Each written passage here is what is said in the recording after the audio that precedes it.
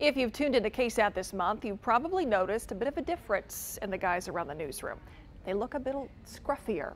That's because we're joining forces with No Shave November and Movember to raise money for cancer awareness. It's going great so far, but there has been a bit of a complaint. The itchiness of all this new facial hair. Steve Spriester went on a journey this week to find a remedy for all this discomfort. Here's a look at how that went. All right, it's been basically since college since I grew a beard, and I'm getting to the point where I need to learn how to take care of it and how to get it not to itch. So, I need some help. I need a beard Buddha, a beard bro, a beard mentor. So I've come to my friend nice. Steve Newman here, who owns the Friendly Spot and other places around town. And, and look, could I ask for a better beard mentor than this right here? It's coming in a little bit. Yeah, yeah. I think I think you're doing all right. What do you have? This like is my, this is my short beard. So yeah, yeah. This is no shave millennium. yeah, you? yeah, yeah. All right, so I'm doing no shave November. All right. Starting to get itchy. What's your best advice? Really, the two best advices is one, keep it really clean and keep it moisturized. Okay, we're going on a trek. What should we look for? Something that smells right for you, because there's going to be like sandalwood and there'll be lime and coconut, and it'll be all over the board. So it's going to be personal preference on that side of things.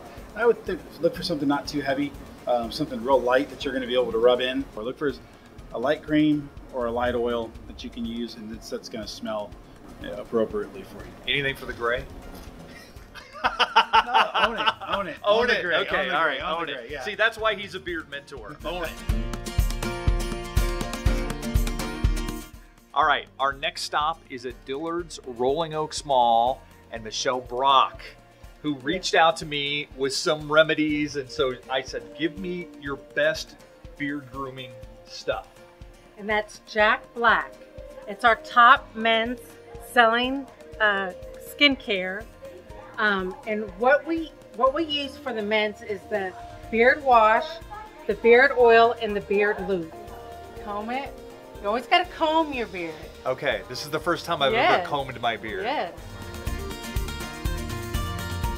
Our next stop, Diesel Barbershop in the Dominion Oaks. I'm gonna get exfoliated. I don't know what that is, but we're gonna find out. This is Yvette. Hello. Yvette's gonna take care of me. She says she has some tips. First tip is fold the collar, apparently. Right, I don't know that I've ever been exfoliated in my life of that, so, all right, be gentle. Ooh, yeah. How are you doing? Good. So far, so good? Oh, yeah. Right now, I'm thinking Larry Ramirez and Bill Barajas and Dylan Collier are all like, how come Spriester gets the hot towel treatment and the massage? Well, it's because I thought of it. Do you have any one person in particular that you want to remember or give encouragement to or yeah my mother passed away of colon cancer uh, 19 years ago uh, so last month. So it's a it's a big thing. It's for me for us we support uh, um, all forms of fundraisers for it. So yeah, I would the person I would dedicate it to would be my mother. Well, I am a breast cancer survivor, so um, that means a lot to me. That's kind of like I, why I reached out. Um, we have a lot of um, associates here that have gone through cancer, so um, we're kind of doing it for everybody, you know, here in our store that have been going through or has gone through cancer?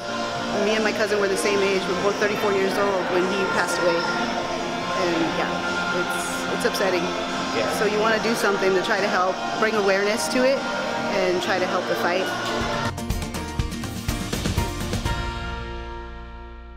You want to try to do something. So this beard and this effort and this No Shave November for me is mainly for my uncle Terry, who has been fighting colon cancer for years now, and as we speak is in intensive care at the University of Nebraska Medical Center. So Terry Tuff, Uncle Terry in Iowa, Nebraska, this is for you and for all the people out there who are fighting cancer. You are not alone. I can't be there with you in person, but I am definitely with you in spirit.